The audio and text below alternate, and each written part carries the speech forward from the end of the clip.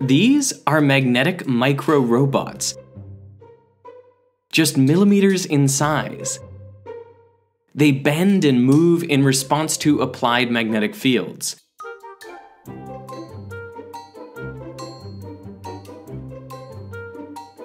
And with these magnetic fields controlled by a gaming controller, the micro robots can be driven carefully and precisely. They can turn by changing the direction of the magnetic field, roll in a rotating field, and even grasp and jump. It often feels like you're playing a video game. In some previous work I did as a demonstration, I was uh, pushing blocks of, of material around and using a microbot like a bulldozer. And the demonstration I did was playing Tetris.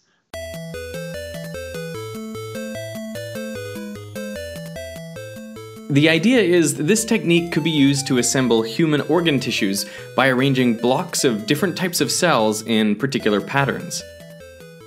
The way these scientists actually fabricate the microrobots is pretty ingenious. Tiny rare earth magnets are magnetized in a strong magnetic field.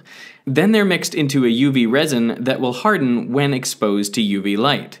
The mixture is poured into a mold and placed on a stage below which is a rotatable permanent magnet.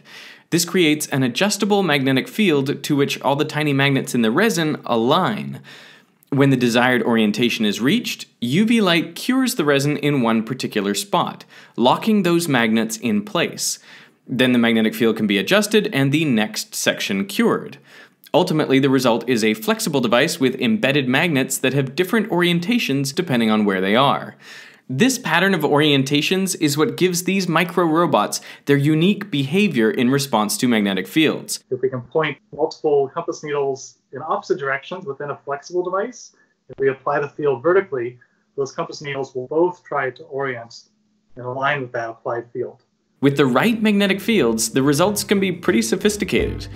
Watch this micro robot pick up a block and then roll with it over to a ramp it rolls up the ramp, deposits the block at the top, and then returns to its original position.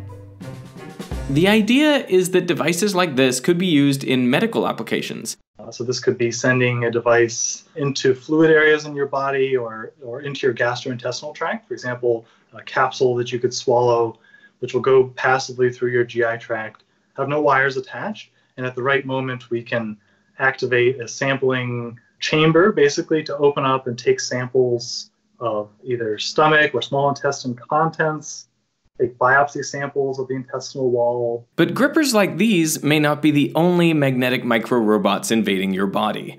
A different research group has pioneered these even smaller peanut shaped magnetic particles, and under the right magnetic field conditions, they form swarms.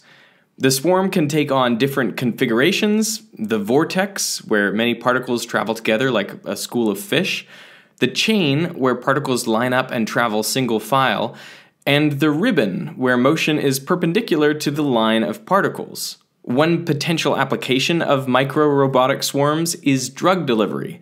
Each magnetic particle could carry a small amount of drug and be guided toward the intended drug delivery site. So, to make a swarm useful, for potential biomedical application, uh, you'd like to keep the swarm aggregated.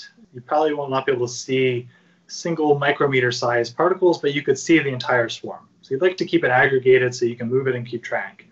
But then going through tight environments, for example, going through blood vessels, uh, if your swarm, the overall swarm size is bigger than the blood vessel, then it doesn't fit. So you need to line them up and, and squeeze through. So that's the motivation for being able to control the shape of the swarm. And who knows, one day you might have swarms of magnetic micro robots cleaning your teeth. Another group of researchers has used tiny magnetic robots to clear biofilms. Those are communities of bacteria and the protective sugar polymers around them. They typically build up on medical devices, the insides of pipes, and on teeth. Can I ask, does this idea of magnetic control of micro robots does it supplant previous concepts like I'm, I'm trying to conceptualize this in terms of like, you know, uh, sci-fi futures with nanobots where I imagine, you know, we imagine these things as really self-contained and, you know, powering themselves around the body and that sort of stuff. Yeah, great question. So the advantage of magnetic fields is that it's a very scalable technique. So we can make magnetic microbots that are single cell size, and we can make them that are centimeters in size, and the, and the principles behave similarly. It pulls off a lot of the functionality to off-board magnetic coils. We can have a big computer sitting there and power supply. So a lot of the hard aspects of driving a robot we can do as traditional size. We can have a big computer, we can have medical imaging hooked up and, and do all these things off board. And then on board, we're just transmitting the magnetic field directly to the device. And so that our microbot is basically then just like the mechanical hand of the robot. And the rest of the robot is really sitting on the table beside the patient. Hey, this episode of Veritasium is supported by viewers like you on Patreon and by Audible. There's no better place to listen. Listening makes us smarter, more connected people. And there's no better time to start listening than right now with a 30-day trial and your first audiobook plus two Audible originals free when you go to audible.com slash veritasium or text veritasium, that's V-E-R-I-T-A-S-I-U-M,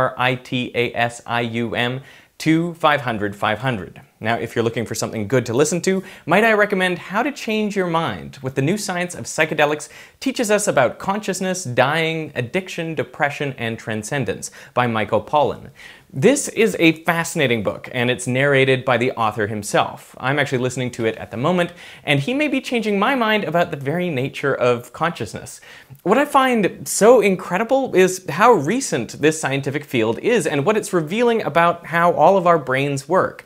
Now, when I'm listening to books like this, I actually look forward to getting stuck in traffic. I find it reduces my stress levels because I'm learning something rather than just wasting time in the car. Now, the way it works with Audible is that as a member, you can choose three titles each month one audiobook and two Audible originals that you can't hear anywhere else. And if you don't like a book, you can exchange it, no questions asked. And the books you get are yours to keep. You can go back and re listen anytime, even if you cancel your membership. Just go to audible.com slash veritasium or text veritasium to 500 500 and browse their unmatched selection of audio content. So I want to thank Audible for supporting me, and I want to thank you for watching.